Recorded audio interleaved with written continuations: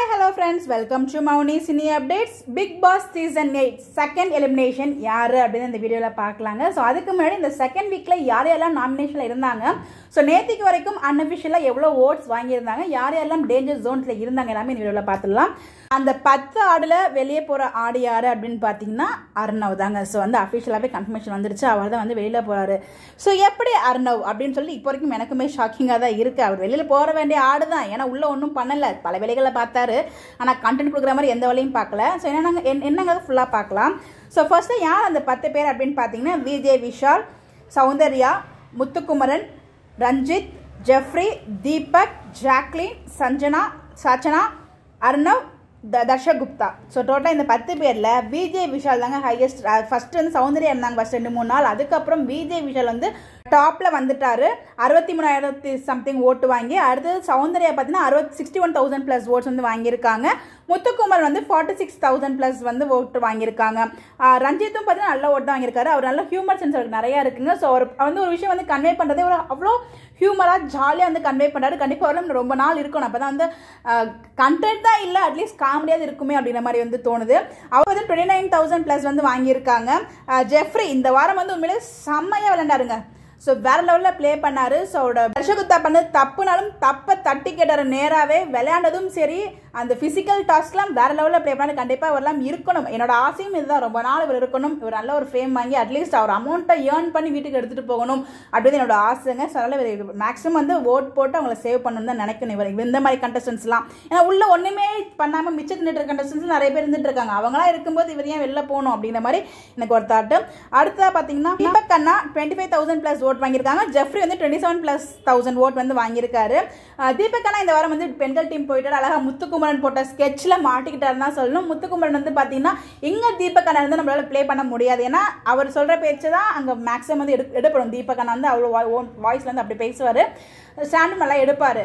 ஆனால் முத்துக்குமலை வெங்கிருந்தால் நம்ம வந்து விளாட முடியாது. பசங்க நம்ம பேச்சை கேட்க மாட்டாங்கிற நல்ல பிளானை போட்டு அவர் அந்த பக்கம் தள்ளிட்டாரு. அந்த பக்கம் போனதுலேருந்து அங்கே அவருக்கு வந்து எந்த ஒரு இதுவுமே இல்லைங்க.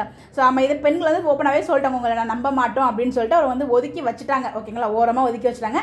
கடைசியாக அந்த கொஸ்டின் கேட்டாங்க பார்த்தீங்களா நாலேஜ் ஜெண்டர் நாலேஜ் அதில் வந்து செம்மையாக ப்ளே பண்ணி ப்ளே பண்ணி பெண்களுக்கு வந்து வாங்கி கொடுத்தாரு தான் சொல்லும் பெண்கள் இந்த இன்னைக்கு வந்து நாமினேஷன் ஃப்ரீ பாஸ் வாங்கினாங்களே. அது யாரால? தீபக்கால மட்டும்தான்.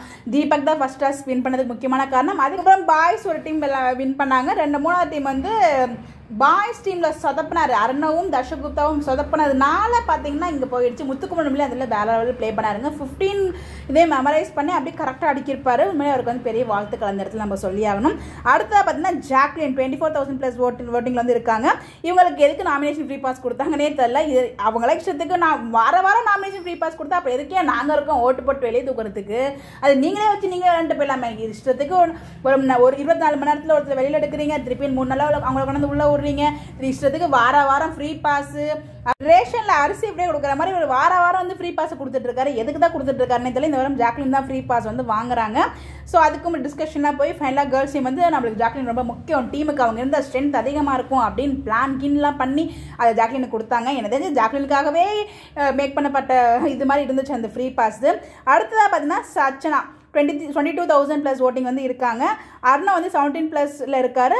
தர்ஷகுப்தாவும் செவன்டீன் ப்ளஸில் தான் இருக்காங்க. எனக்கு தெரிஞ்சு இந்த மூணு பேரில் யாராவது ஒருத்தர் தான் வெளியே போவாங்கன்னு நினச்சோம். இந்த மூணு பேருமே அங்கே ஒன்றும் பண்ணல. சாட்சியா வந்து எனக்கு எல்லாமே தெரியும் எல்லாமே தெரியுங்கிற மாதிரி சைல்டிஷாக தான் பிஹேவ் பண்ணிட்டு இருக்காங்க. ஓவரால் இருக்கட்டும் ஒரு ரூடாக பிஹேவ் பண்ணுற மாதிரி இருக்காங்க. அவங்களோட ஏஜுக்கு ஏற்ற மெச்சூரிட்டி இல்லாத மாதிரி எனக்கு தெரியுது. அடுத்து அர்ணவ் அவர் கேர்ள்ஸ் டீமுக்கு விளையாடுறாரா பாய்ஸ் டீமுக்கு விளையாடுறான்னு தெரியாமல் விளையாண்டுட்டு இருக்காரு பாய்ஸ் டீம் என்ன பேசினாலும் கேர்ள்ஸ் டீம் வந்து சொல்லிடுது தர்ஷகுப்தா நான் இருக்கேன் நான் இருக்கேம்மா அண்ணன் நான் இருக்கேன். என்னமோ இவர் வந்து இங்கே நான் சமாதானப்புறவுக்கு வந்த மாதிரி வந்து விளையாடிட்டு இருக்காரு மாதிரி நான் இருக்கேன் நான் இருக்கேங்கிற மாதிரி எல்லா பக்கம் விளையாடிட்டு இருக்காங்க கப்பை வர தங்கச்சி சாட்சினா கொடுத்துட்டாரு. இங்கே கப்பு உடச்சிட்டு போகணும் என்ன பண்ண போகிறாருன்னு தெரியலையே. பிக் பாஸ் என்ன வச்சுருக்காருன்னு தெரியல அதை பார்ப்போம். உங்களுக்கு என்ன தோணுச்சா கமெண்ட் பண்ணுங்கள் அடுத்ததாக பார்த்தீங்கன்னா நம்ம சார் தர்ஷகுப்தா. அவங்க ஒன்றுமே பண்ணலங்க அழுகுறாங்க. சும்மா பாய்ஸை போய் சீன்றாங்க சண்டை போடுறாங்க. ஏன் சொல்லணுங்கிறாங்க என்னை ஏன் கேட்கலங்கிறாங்க. கேட்கலங்கிற பிரச்சனை பண்ணுறாங்க கேட்கறதுக்கும் பிரச்சனை பண்ணுறாங்க எல்லாத்துக்கும் பிரச்சனை பண்ணி அழுதுட்டு இருக்காங்க அங்கே ஃபுல்லாக அவங்க. அதான் அவங்களோட கண்டென்ட் இவங்க ரெண்டு பேர் இருக்காங்க. அட்லீஸ்ட் இவங்க இந்த கண்டென்ட்டாவது கொடுக்குறாங்களேன்னு சொல்லிட்டு அவங்க உள்ளே வச்சுட்டு எந்த கண்டென்ட்டுமே கொடுக்காத அருணை ஒத்துக்கி வெளில போட்டுருப்பாங்க. நினைக்கிறேன் இந்த வாரம் அதை விளையாடலாங்கிற மாதிரி ஒரு தாட்டில் வந்தார் அருணை. அதுக்குள்ள தூக்கி வெளியே போட்டாச்சு அவரை. அவர் தான் விட்டு வீட்டுக்கும் போயிட்டாரு.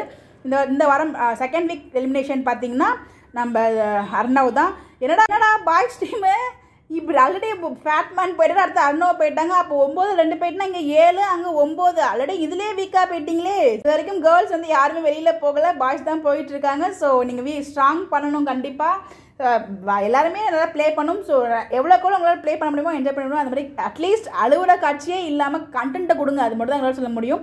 ஸோ இந்த அர்ணோ எலிமினேஷன் பற்றி உங்களுடைய கருத்துக்கள்னா மறக்காம கமெண்ட்டில் சொல்லுங்கள் இன்னைக்கு இன்னைக்கு எபிசோட் பார்த்துட்டு எப்படி இருந்துச்சு அப்படிங்கிறத உங்களோட கருத்துக்களை மறக்காம கமெண்ட்டில் ஷேர் பண்ணுங்கள் பை பாய்